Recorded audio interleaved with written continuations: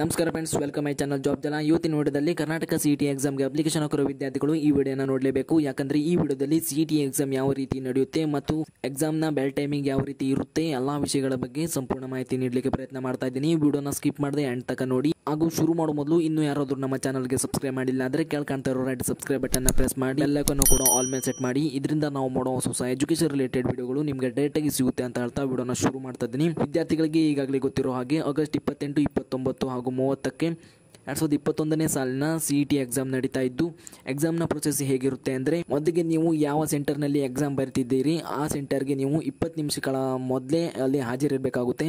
ಅಲ್ಲಿ ನಿಮ್ಮ ಪ್ರತಿಯೊಂದು ಎಕ್ಸಾಮು ಏಳು ಬೆಲ್ಗಳ ಅಡಿಯಲ್ಲಿ ನಡೆಯುತ್ತೆ. ಪ್ರತಿಯೊಂದು ಬೆಲ್ನಲ್ಲಿ ಏನು ಮಾಡಬೇಕು ಅಂದರೆ, ಮೊದಲ ಬೆಲ್ ನಿಮಗೆ ಬೆಳಿಗ್ಗೆ ಹತ್ತು ಇಪ್ಪತ್ತಕ್ಕೆ ಕಾಣ್ಲಿಕ್ಕೆ ಸಿಗುತ್ತೆ. ಆಗ ನೀವು ಅಲ್ಲಿ ಎಕ್ಸಾಮ್ ಹಾಲ್ಗೆ ಹೋಗೋ ಮುಂಚೆ ನಿಮ್ಮ ಡಾಕ್ಯುಮೆಂಟ್ ವೆರಿಫಿಕೇಶನ್ ಮಾಡ್ತಾರೆ. ಅಲ್ಲಿ ನಿಮ್ಮ ಹಾಲ್ ಟಿಕೆಟ್ ಹಾಗೂ ನಿಮ್ಮ ಐಡೆಂಟಿಟಿ ಪ್ರೂಫ್ನ ಕೇಳ್ತಾರೆ.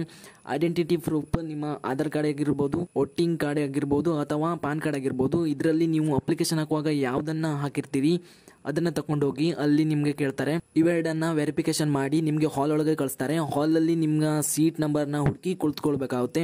ಇದಿಷ್ಟು ನೀವು ಮೊದಲ ಬೆಲ್ನಲ್ಲಿ ಕಾಣಬಹುದು ಹಾಗೂ ಎರಡನೇ ಬೆಲ್ ಬೆಳಿಗ್ಗೆ ಹತ್ತು ಮೂವತ್ತಕ್ಕೆ ಆಗುತ್ತೆ.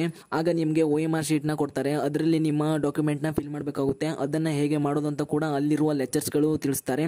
ಅದೇ ರೀತಿ ಮಾಡಬೇಕಾಗುತ್ತೆ. ಇದನ್ನು ನೀವು ಎರಡನೇ ಬೆಲ್ ಆದಾಗ ಕಾಣ್ಬೋದು. ಹಾಗೂ ಮೂರನೇ ಬೆಲ್ ಹತ್ತು ನಲ್ವತ್ತಕ್ಕೆ ಆಗುತ್ತೆ. ಆಗ ನಿಮಗೆ ಪ್ರಶ್ನೆ ಪತ್ರಿಕೆ ಹಾಗೂ ಒ ಎಂ ಆರ್ ಶೀಟ್ನಲ್ಲಿ ಉತ್ತರ ಬರಲಿಕ್ಕೆ ಅವಕಾಶ ಕೊಡ್ತಾರೆ. ಆಗ ನೀವು ಉತ್ತರ ಬರಲಿಕ್ಕೆ ಸ್ಟಾರ್ಟ್ ಮಾಡ್ಬೋದು. ಇದನ್ನು ನೀವು ಮೂರನೇ ಬೆಲ್ನಲ್ಲಿ ಕಾಣ್ಬೋದಾಗಿದೆ. ಹಾಗೂ ನಿಮ್ಮ ನಾಲ್ಕನೇ ಬೆಲ್ ಯಾವಾಗ ಆಗುತ್ತೆ ಅಂದರೆ ನಿಮ್ಮ ಎಕ್ಸಾಮ್ ಸ್ಟಾರ್ಟ್ ಆಗಿ ಅರ್ಧ ಗಂಟೆ ಆದಮೇಲೆ ನಿಮಗೆ ಈ ಬೆಲ್ ಕಾಣ್ಲಿಕ್ಕೆ ಸಿಗುತ್ತೆ. ಹಾಗೂ ಐದನೇ ಬೆಲ್ ಎಕ್ಸಾಮ್ ಮುಗಿಲಿಕ್ಕೆ ಇಪ್ಪತ್ತು ನಿಮಿಷಗಳು ಇರಬೇಕಾದ್ರೆ ಆಗುತ್ತೆ. ಆರನೇ ಬೆಲ್ ಬೆಳಿಗ್ಗೆ ಹನ್ನೊಂದು ನಲವತ್ತೈದಕ್ಕೆ ಇರುತ್ತೆ. ಇದು ನಿಮ್ಮ ಕೊನೆಯ ಎಚ್ಚರಿಕೆ ಬೆಲ್ ಆಗಿದ್ದು ಎಕ್ಸಾಮ್ ಮುಗಿಲಿಕ್ಕೆ ಕೇವಲ ಐದು ನಿಮಿಷ ಮಾತ್ರ ಇರುತ್ತೆ. ಆಗ ನೀವು ಈ ಬೆಲ್ನ ಕಾಣ್ಬೋದು. ಹಾಗೂ ಕೊನೆಯ ಬೆಲ್ನ ಸರಿಯಾಗಿ ಬೆಳಗ್ಗೆ ಹನ್ನೊಂದು ಐವತ್ತಕ್ಕೆ ಕಾಣಬಹುದು ಆಗ ನಿಮ್ಮ ಉತ್ತರ ಪತ್ರಿಕೆಯ ಒ ಎಂ ಆರ್ ಶೀಟ್ನ ಅಲ್ಲಿರುವ ಲೆಕ್ಚರ್ಸ್ಗಳು ಕಲೆಕ್ಟ್ ಮಾಡಿ, ಸರಿಯಾಗಿದೆಯಾ ಚೆಕ್ ಮಾಡಿ ನಿಮ್ಮನ್ನ ಹೊರಗಡೆ ಕಳಿಸ್ತಾರೆ. ಈ ರೀತಿ ನಿಮ್ಮ ಪ್ರತಿಯೊಂದು ಎಕ್ಸಾಮ್ ಕೂಡ ನಡೆಯುತ್ತೆ. ಈ ವಿಡಿಯೋದಿಂದ ಎಕ್ಸಾಮ್ನ ಬೆಲ್ ಟೈಮಿಂಗ್ ಹೇಗಿರುತ್ತೆ ಎಂಬುದು ನಿಮಗೆ ಅರ್ಥ ಆಗಿದೆ ಅಂತ ತಿಳ್ಕೊಳ್ತೀನಿ. ಯಾವುದೇ ರೀತಿಯ ಡೌಟ್ ಇದ್ದರೂ ಕೂಡ ನಮಗೆ ಕಮೆಂಟ್ ಮೂಲಕ ತಿಳಿಸಿ. ಹಾಗೂ ವಿಡಿಯೋನ ಇಷ್ಟ ಆಗಿದ್ರೆ ಲೈಕ್ ಮಾಡಿ ಅಂತ ಹೇಳ್ತಾ ವಿಡಿಯೋನ ಮುಗಿಸ್ತಾ ಇದ್ದೀನಿ. ಧನ್ಯವಾದಗಳು.